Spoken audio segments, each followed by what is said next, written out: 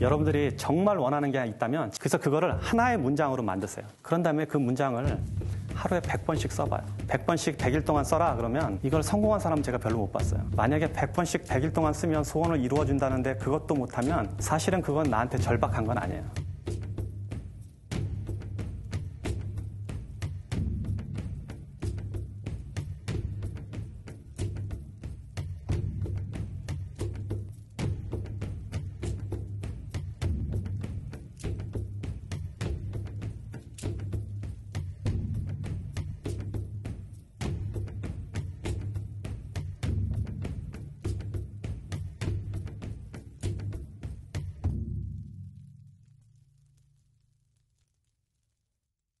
백일 노트란 무엇인가? 말 그대로 자신의 목표를 100일 동안 100번씩 쓰는 게 100일 노트입니다. 제가 100일 노트를 쓰게 된 계기를 말씀드리자면 힘든 상황에 제 자신을 새롭게 개조시킬 어떤 큰 임팩트를 원했어요. 당시 책도 많이 읽고 다양한 시도도 해보고 온라인을 통해서 수많은 공부도 했는데 뭔가 2% 부족했단 말이죠. 그러다 지인이 지인이 이야기를 듣게 됐는데 그분이 당시 20대 중반의 나이에도 불구하고 온라인 마케팅 사업을 성공시켜서 억 단위 수익을 벌면서 외제차까지 끌고 다니던 사람이었어요. 이분이 평소 멘토처럼 여기시는 어떤 어르신이 계셨는데 그 어르신께서 이분에게 100일 노트를 소개시켜줬다고 하더라고요. 그래서 그 친구도 믿져야 본전으로 목표를 100일 동안 100번씩 썼는데 그 목표가 상상 이상으로 빨리 이루어진 거예요. 저는 이제 그 뒤에 백일노트라는 걸 아는 사람이 있을까라며 검색을 해봤는데 한 사람이 나오더라고요. 그게 김승호 회장님. 김승호 회장님께서 공중파 방송에 나와서 백일노트 관련 이야기를 하시는 영상의 내용이 있었는데 이제 회장님께서는 개인적으로 일생 동안 7번의 백일노트를 끝냈고 그 7번을 전부 다 성공적으로 이루어냈다고 합니다. 그때 느낌이 딱 꽂혔어요. 아 이게 내가 찾던 거다. 이게 내 자신을 뒤바꿀 수 있는 가장 큰 방법이겠구나. 당시 저는 직장도 잃고 빚만 있는 상황이었는데 노트를 쓴다고 돈을 내는 것도 아니고 어떠한 리스크도 없으니까 그냥 그날 바로 시작했어요. 저는 100번이 아니라 200번씩 썼습니다. 그렇게 2020년부터 지금까지 총 3번의 노트를 끝냈습니다. 2020년에 썼던 목표가 연수익 1억, 그거를 2021년에 달성했고 2021년에 썼던 목표가 월수익 1억 그거를 2022년에 달성했습니다. 그리고 최근이죠. 2022년 노트에는 월수익 10억을 썼고 이틀 전에 마무리했어요. 지금은 이제 달성 중입니다. 자, 백일노트 관련 질문. 백일노트 관련해서 가장 많이 듣는 질문을 다뤄보겠습니다. 첫 번째, 백일노트를 쓰는 도중에 목표가 많이 바뀌는데 괜찮나요? 괜찮습니다. 원래 바뀌는 게 정상이에요. 거의 대부분의 사람들이 그럴 거예요. 예를 들어 볼게요. 내가 롤렉스 시계를 가지고 싶어서 롤렉스 구매로 백일노트를 시작했는데 약 2, 3주가 지나고 난 뒤부터 뭔가 마음이 안 가고 열정이 사그라들고 노트에 손이 안 가기 시작하는 거야. 안 쓰기 시작해. 그 뜻은 뭐냐? 롤렉스는 사실 내가 그렇게 원했던 목표가 아니란 뜻입니다. 백일 노트의 가장 큰 숨겨진 장점이 이거예요. 나의 진정한 목표를 찾을 수 있어요.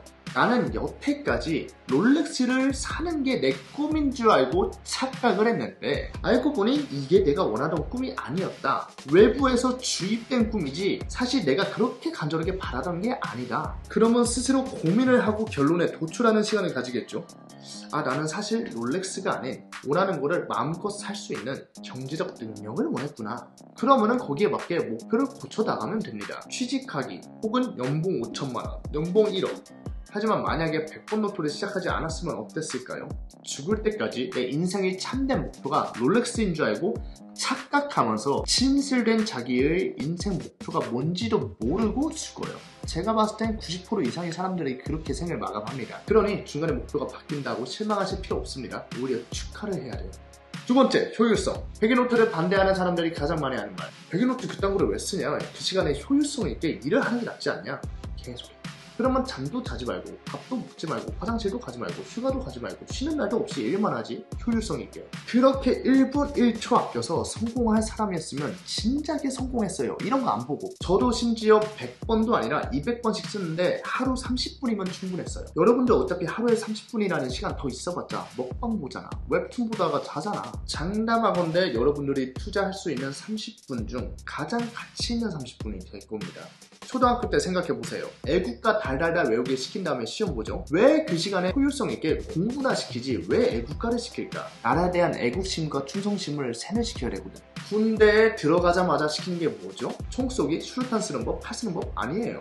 공무신조 외우게 하고 군가 외우게 합니다. 그리고 그거를 군생활 2년 동안 수천 번을 무한 반복시켜요. 큰 목소리로 떼창하면서. 왜 그럴까요? 효율성 있게 사격이나 가르치지. 세뇌시켜서 복종하게 만들어야지. 자, 다음. 간절함. 김승호 회장님께서 이렇게 말씀하셨어요. 100일 동안 100번씩 쓰면은 소원을 이루어준다는데 그것도 못 쓰면 애초에 그거는 내가 간절히 원하지 않던 소원이다. 저는 100일 노트 유료 단톡방을 1년 가까이 운영하고 있는데 유료입니다. 한 달에 만 원.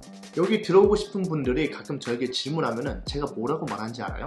100일 노트라는 거는 어차피 공책에 쓰는 거니까 굳이 돈 내고 여기 들어오실 필요 없습니다. 혼자서 일단 시작을 하신 다음에 그 뒤에도 굳이 들어오고 싶으시다면은 그 다음에 들어오셔도 상관이 없습니다. 라고 해요. 약 한 기수마다 60명에서 70명 정도 되는 멤버들이 들어오는데 한 기수마다 약 120일의 시간을 줍니다. 그러면은 이 120일 뒤에 이 70명 되는 사람들 중 과연 몇 명이나 끝났을 것 같아요? 평균 3명. 100일 노트를 하고 싶다고 월 만원씩 돈을 내면서까지 단톡방에 있는 사람들조차 그 70명 중에 3명밖에 완료를 하지 못해요. 그만큼 간절한 사람들이 없어요. 반대로 말하자면 간절하기만 해도 상위 5% 안에 들수 있다는 뜻이에요. 자 마지막 마법의 노트. 제가 지금 말씀드립니다. 100일 노트는 마법의 노트가 아닙니다. 100일 노트를 쓴 뒤에 정확히 100일 뒤에 지니가 빠방 하고 나타나서 소원을 들어주는 게 아니란 말이에요. 단지 그 100일 동안 여러분의 잠재의식을 완전히 최면을 걸어버려서 그 목표를 달성하기 위한 목표 달성 머신으로 만들어줍니다. 그거면 게임 끝이에요. 100일 노트를 마치고 얼마 후에 소원이 이루어질지는 아무도 몰라요. 알려고 하지 마세요. 시간에 대한 집착을 내려놓으세요. 시간을 통제하는 건 인간이 하는 일이 아닙니다. 단지 100일 노트를 쓴 뒤에 100일 노트 책은 옆에다 두고서 그 다음부터 목표에 집중하시면 돼요. 그러면 적당한 때가 됐을 때 자연스럽게 목표는 이루어지게 돼 있거든요. 결국 언젠가 이루어질 수밖에 없다는 사실만 알면 돼요. 자, 마지막으로 하고 싶은 말은 방법론에 너무 얽매이지 마세요. 100일 노트를 시작하기 위해서 100일 노트 하는 법을 한 달 동안 검색하면서 찾아다니는 사람들이 있는데 그러지 말고 지금 당장 시작하세요. 공책과 펜을 사고 지금 당장 시작할 수 있잖아. 이렇게 그렇게 쉬운 것조차도 시작하지 못하고 한 달 내내 방법론만 찾아다니고 있으면 도대체 인생은 어떻게 살아가려고 합니까? 창업을 하기 전에 창업 준비만 한 80년 하다가 죽을 거 아니잖아요. 그러니까 지금 바로 공책, 펜, 끝, 시작! 영상이 도움됐다면 좋아요와 구독 부탁드립니다. 다음 시간에 뵙겠습니다. 바이!